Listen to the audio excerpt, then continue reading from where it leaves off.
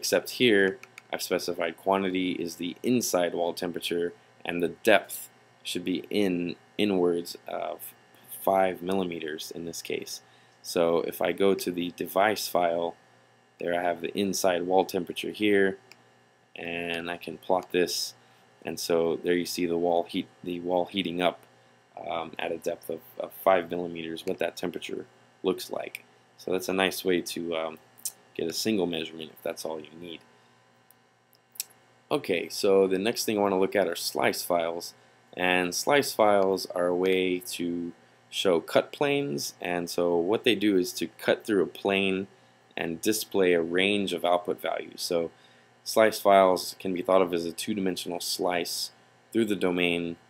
Um, the slice I'm showing here is going to show, so I've specified slice file xb is equal to 2.6, 2.6.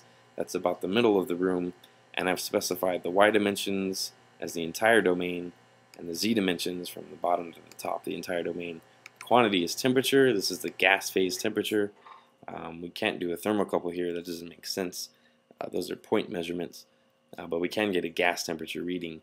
Uh, and so the way we visualize that in SmokeView is if this is the front of the uh, domain, my slice file is going to go through 2.6, which is right where those green dots are. And the way to visualize that is to right click, click on load, slice file, temperature, and there you see uh, x equals 2.6. So if I click that from the front to back, top to bottom, I have a slice file showing the uh, values of the gas temperature um, along there, which is a nice way to see uh, different values visualized. So on the right side I have a color bar from 0 to 1000 and this range is automatically detected um, from FDS output. So you can see it looping over and over. Uh, if I click on the color bar I can actually, you'll see a black line there uh, in SmokeView and actually tells me exactly where that value occurs uh, on the slice file. So nice way to visualize that. Um, so I'm going to unload that and um, so there is a shorthand way actually to represent a plane. Instead of specifying six numbers, I can actually specify only one number. And the shorthand way to do this is to use PBX, PBY, or PBZ, depending on uh, what plane you want to go through, the X, Y, or Z plane. So this line here is actually equivalent to the previous line. I've said slice file PBX equals 2.6, and that's it. And so what this does is draw a slice at x equals 2.6 everywhere uh, for y and z. So the plane is, the slice file is actually shown here and it's duplicated because it's the same thing. So it goes front to back, top to bottom at x equals 2.6. So a nice shorthand way do that. You can also show uh, PBY and PBZ uh, accordingly. Uh, another cool feature is that you can show slice files, you can actually input them as 3D volumes. And what this does, it, it lets you move the slice around in the 3D space in SmokeView. And there's a warning that this can actually create very large output files for slice files. Um, but it is really nice if you're not exactly sure uh, where there might be interesting things happening and you want to cover an entire volume. So what I've done here is slice file XB and this looks similar to the first line except now instead of this matching 2.6 2.6 it's 0 to 5.2 so it's all of the X all of the Y all of the Z. I've done the entire domain. You can do a subsection of the domain if you like but I've done the entire domain with a quantity temperature uh, to show uh, the versatility of this so if I go to slice file temperature you see a 3D slice option so if I hit that, now by default, to um, so we don't get huge output files, this actually only outputs five times during the entire simulation. So um, the first occurrence is at 60, 120, 180, 240, and 300. So if I looked at the slice at 60 seconds, you'll see I have two slices, one in the Z plane and one in the Y plane. I can actually move this move these around kind of the same way I do the grid lines uh, if I press the G key. So if I press um, the X key that activates the X, so now I have X, Y, and Z all showing at once. Um, if I hit Y and Z, that will toggle those off. So right now I'm just showing the X, uh, middle X slice. Now if I use the left and right arrows, I can actually move that around and it's showing me the values at 60 seconds uh, throughout the domain. If I press X and then press Y, now I can use the up and down arrow keys uh, to move throughout the domain and if I press Y to turn that off and Z to turn on that plane, I can use the page up and page down buttons um, to look throughout the domain. This is a really cool way to uh, visualize the entire uh, domain, the quantities in the entire domain, and I don't have to, I'm not locked to one slice. I can move them around. Similar to a plot3d file, um, and they can be animated. Uh, you can actually increase the frequency uh, that this outputs on the dump line um, but it's done like this to save uh, space initially. So again, X, Y, and Z, uh, those all toggle on and off the different uh, planes, and then left, uh, left, right, up, down, and then page up and page down will move the slices around. So those are 3D slice files, pretty neat feature. Um, let's see, we can we can also look at uh, we can also create animated velocity vectors. Um, so if we put a slice through the doorway, which is PBX equals 4.4, that's the middle of the door, and if I use quantity temperature, at this time I add vectors equal to period true period, that's going to show me, uh, give me the ability to look at vectors through the door. So if I load uh, vector slices, temperature, I see that 4.4. Now I actually see little arrows showing the velocity, the direction of the velocity, and the colors show the scalar quantity, the temperature quantity. So a uh, helpful thing here is if you press A, you can actually uh, cycle through various lengths for the lengths for the arrows, um, and you can see them moving around, stirring around. We have outflow at the top, inflow at the bottom of the doorway, it's a neat way to visualize uh, some of the flow um, that's going on.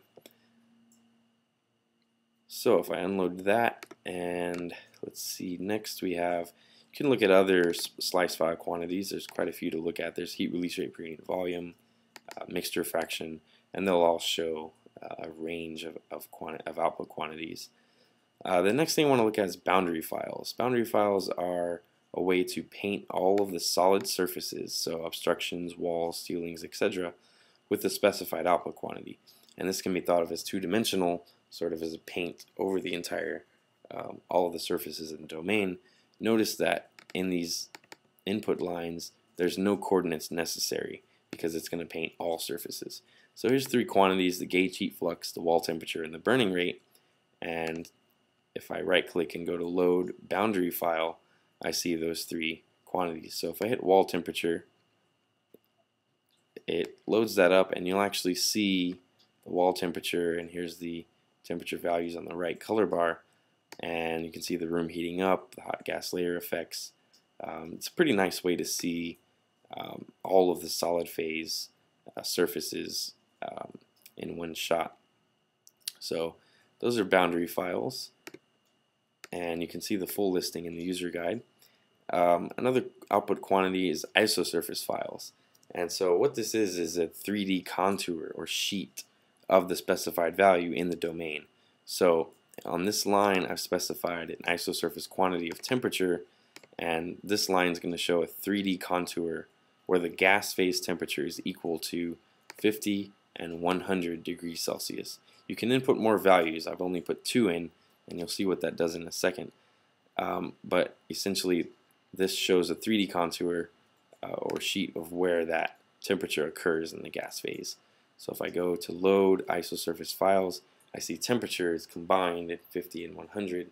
So if I click this, I see two different sheets. So let me slow that down. So in the beginning here, as the hot layer descends, here we go, about one minute in, you see this purple sheet is showing 50 degrees Celsius and the gray sheet is showing where 100 degrees Celsius is occurring. So it's a nice way to, to view uh, where these values are occurring in three dimensions, um, kind of as a sheet uh, where that's occurring. You can look at different um, volume fractions, species, in that way, and look at uh, spread um, in that way. So the last thing I want to look at are just a few special output quantities. Uh, there are many more, uh, but these are some I wanted to highlight. So the first one is um, this outputs to the device file, and this is a layer height. So if you're comparing to a zone model or empirical equations where the concept of a, a hot gas layer applies, it can be handy to see um, what the uh, hot gas layer height is at a certain point. So here I've specified the device, I specified x 2.6, those are equal, specified y is 2.3, those are equal, and I specified over a height from the floor to the ceiling, 0 to 2.4 meters. The quantity is layer height.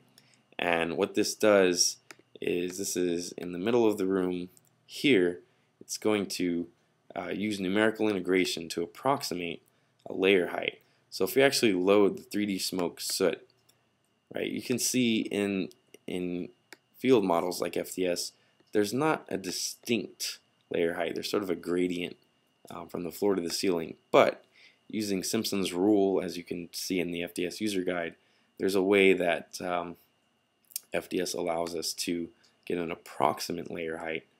Um, so if I look at the device.csv file, I see that layer height here, and if I plot that, I can see the layer height over time. So you can see in about uh, 20 seconds or so, it descends to about one meter um, and then it continues to descend uh, throughout time.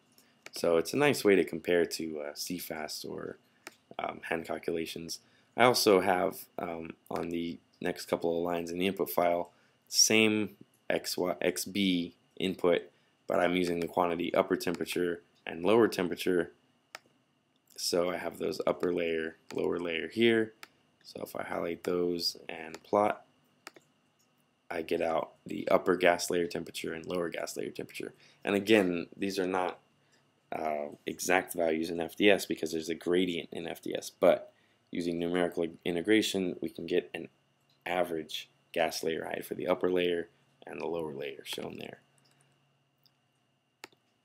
And the last couple of things I want to show are the um, heat fluxes you can show. These are devices, these are point devices. These are located in the middle of the room on the floor and I'm, I'm showing the radiative, convective, net, and gauge heat fluxes. Uh, you'll notice the IOR is 3. Uh, that's because the Z positive direction is up. That's where the floor is facing upwards. Um, and if I look at those devices here, they're all in kilowatts per meter squared. But if I plot them, you can see various values, radiative flux, convective, net, and gauge, and you can see the meaning of those in the FDS uh, user guide. So the last thing I want to show is the adiabatic surface temperature. This is nice for uh, interaction with structural models where you maybe want to do better 3D heat transfer instead of 1D heat transfer. Uh, I can specify a point. So this point is again on the middle of the front wall, the inside front wall, um, and I've specified the quantity as adiabatic surface temperature, um, and the IOR is 2. So here if I look in the device file, the very last output I have is adiabatic temperature. And if I plot that this is going to give me the adiabatic surface temperature of the wall. This could be a steel beam. This could be any sort of solid. Um, and you can look in the user guide for more details but I could then plug these uh, temperatures as a boundary condition in a 3D uh, structural model that could better model the heat transfer within the uh, solid phase member. So with that hopefully that was a helpful um, overview of all the different um, output quantities that are available in SmokeView visualization and as well as the output files themselves. Um, you can refer to the uh, FDS user guide. Uh, chapter uh, 14 does a nice job of, of going over these and more quantities. Um, but that should help you to see uh, all the capabilities of FDS and SmokeView as far as uh, output from your model.